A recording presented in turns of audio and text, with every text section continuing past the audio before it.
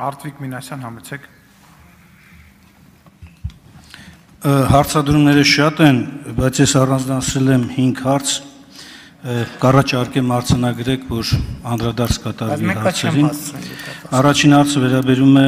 մադրիդյան սկզբունքների վերաբերյալ ձեր այսօր կատարած պնդումներին, ինչպես նաև օրեր առաջ էլ կատարված պնդումներին, իմ կարծիքով դա մտաշահարկման դրսևորում է։ Առաջին հարցը հետևյալն է. Մադրիդյան սկզբունքների որևէ կոնկրետ դրույթ կարող եք նշել, որով Հայաստանը իբր թե Արցախը ճանաչել է Ադրբեջանի կազմում։ Ես ուզում եմ ընթերցել այս սկզբունքների հենց նախաբանի եւ առաջին կետի հատվածը, հղում կատարելով Հելսինկյան եզրափակիչ ակտի մասնակից պետությունների միջև հարաբերությունների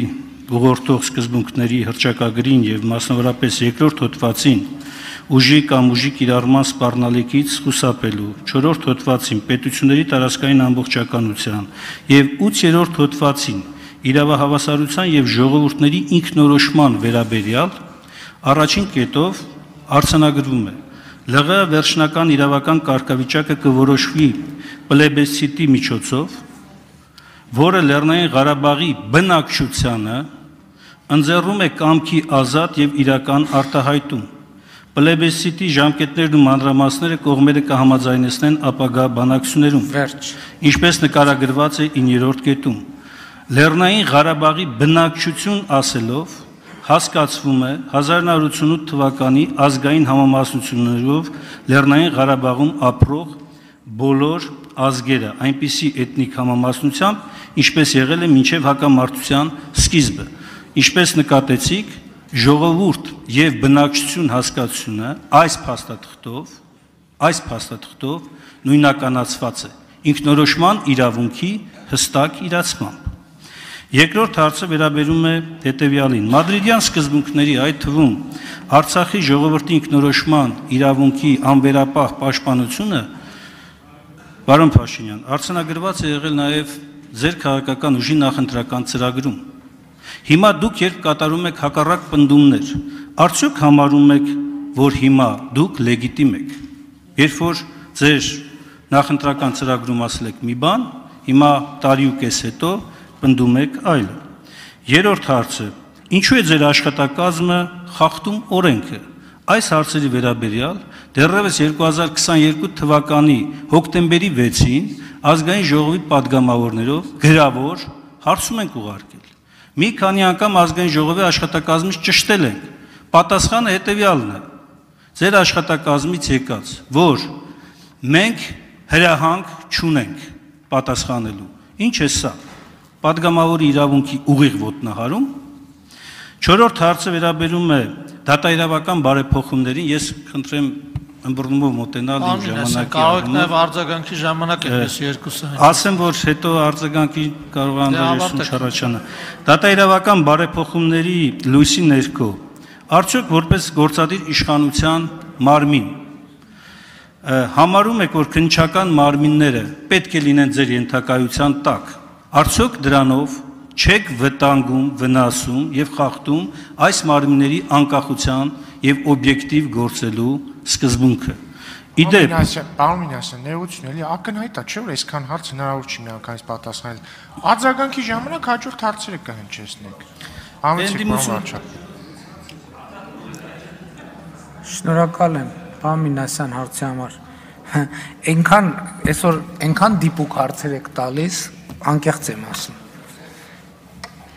Ուրեմն պլեբեսցիտ եւ հանրակրվե։ Այս բառը մասնավորապես Կազանյան process-ի առանցքային բանավեճերից մեկն է եղել։ Որովհետեւ Հայաստանը եւ կարակ այդ ամեն չստուկ, ասինքն գիտեք էլ 100% 100 անգամ քննարկվել է։ Հենց Ադրբեջանն ասել ինչ հանրակրվե Պլեբեսցիտ, պլեբեսցիտը ի՞նչ է։ Պլեբեսցիտն է նա, որ պետք է գնանք մի հատ պատտվենք, հարցնենք ինչ կա, չկա, ով ինչ կարծիքի է, վերջում գանք որոշում կայացնենք։ Հայկական կողմի դիրքորոշումը եղել է, որ չէ, դա պետքա լինի հանրակրվե։ Դուք ասցիք, որ տեսակ, որ ժողովուրդ եւ բնակչություն հասկացությունը նույնականացված է։ Ոչ, չտեսա։ Եվ շատ եմ կարդացել, մի քանի անգամ եմ կարդացել, այդպիսի բան չկա գրած։ Տեսեք, դուք ձեր հարցին պատասխանեցիք։ Ասցիք, որ հանրակրվեի ժամկետները եւ այլ մանրամասներ կողմերը կհամաձայնեցնեն հետագայում կամ կքննարկեն հետագայում։ Բայց եմ ասում, եթե 91 թվին կողմերը ովքեր են, Ադրբեջանը, Հայաստանը, հələ Ղարաբաղն էլ չկա։ Եթե 91 թվին մեր դիրքորոշումն ենա, որ Ղարաբաղը Ադրբեջանի կազմում չի եղել, ինչ ենք Ադրբեջանի հետ քննարկում ժամկետները եւ այլ հարցեր։ Ադրբեջանն էլ ասում է շատ լավ, ինձ այդ ժամկետներ եւ այլ հարցեր եք քննարկում։ Ես ասում եմ, որ պլեբիսցիտա թե հանրակրվեա, պետքա տեղի ունենա 100 տարի հետո։ Եվ դուք ճանաչել եք իմ Լեռնային Ղարաբաղի ադրբեջանցիների իրավունքը։ Շատ լավ իրանք կվերադառնան, որովհետև դուք ճանաչել եք, որ Լեռնային Ղարաբաղի ամբողջ բնակչության ազատ կամ արտահայտությունը պետք է արտահայտի համաժողովրդական հանրակրվեն։ Ուրեմն ամբողջ բնակչությունը պետքա Լեռնային Ղարաբաղի ամբողջ բնակչությունը լինի։ Բայց ես ձեզ ուրիշ բան ասեմ, որ այսքան բան ենք արել, խորացել ենք, ելի խորանանք։ Լեռնային Ղարաբաղից ժամանակին 88 թվին, 89 թվին դուրս են եկել երկու ադրբեջանցի։ Եվ նրանք դուրս են եկել Հետո 30 տարի հետո ունեն 6 զավակ եւ 12 թոր։ Իրանք էլ մահացել են։ Ո՞վ է մասնակցելու այդ հանրակրվեին եւ պլեբիսցիտին։ Ո՞վ է մասնակցելու։ Համամասնությունը ճիշտ եք ասում, ես եմ իմ հիշատակած մի բանում, մի նիստում Մեջբերում եմ արել անուղակի առանց գախնիությունը խախտելի Սերժ Սարգսյանի գրած մի նամակի մասին, որ ինքը ասում է՝ «Մի րոպե, բա մենք այն ժամանակ պայմանավորվել ենք, որ պետքա համամասնություն լինի, ես ոնց որ այս համամասնության թեման դուրս է գալիս, այդ խնդրեմա, որովհետև լրի դեֆորմացվում է իրավիճակը։ Հաջորդը Այս ինչ տարբերություն է, դե երկար տվի, ես էլ չտեղավորվեցի հարցի պատասխան։ Այս ինչ տարբերություն է ժողովուրդ եւ բնակչություն համաժողովրդական հարակվեն որտեղ պետքա տեղի ունենա։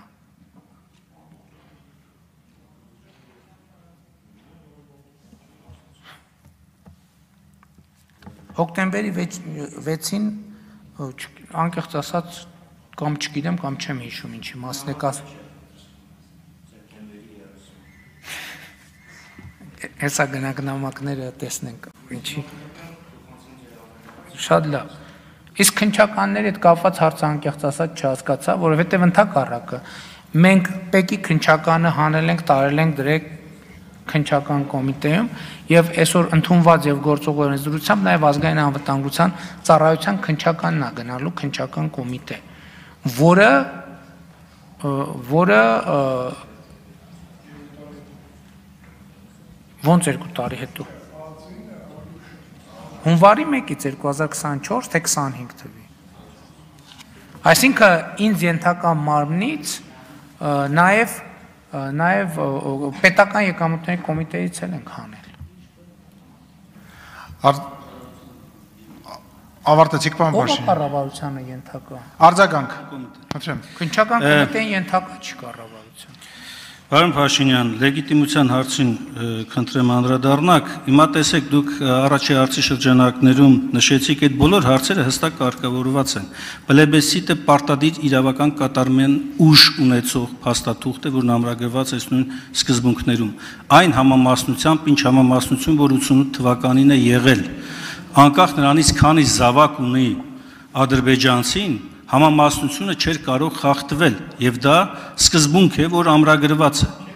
Եվ երկրորդ կարևոր հանգամանքը տեսեք հարցերիս քնչականի վերաբերյալ հարցը նրանում էր, որ մենք ստացել ենք նաև ը, պաշտոնական տեղեկատվություն նույն պետական դավաճանության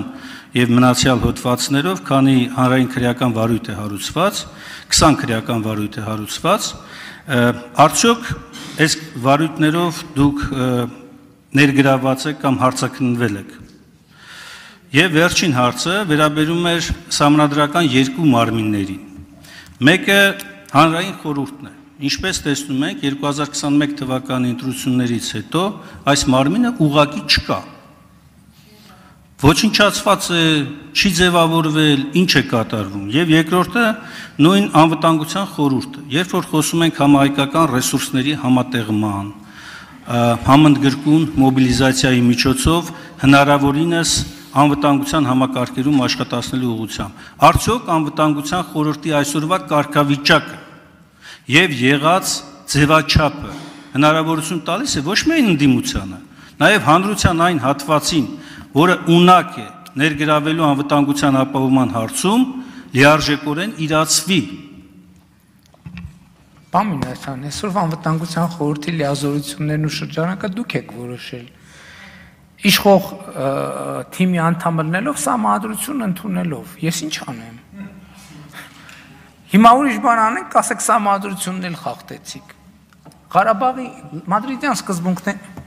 Մադրիդյան սկզբունքների հետ ձեր ասացի, որպեսզի շատ կոնկրետ արձագանքեմ, Մադրիդյան սկզբունքները ընդունվել են 2007 թվին, Լուծեիք շոուր ջան, այդքան լավ էր ամեն ինչ լուծեիք։ Բայց 10 տարի, 10 պլյուս 1 տարի ով է խանգարել։ Դրա փոխարեն Սերժ Սարգսյանն եկել է այս ամբիոնից արել, ելի պետք է ասեն նախկինների մասին։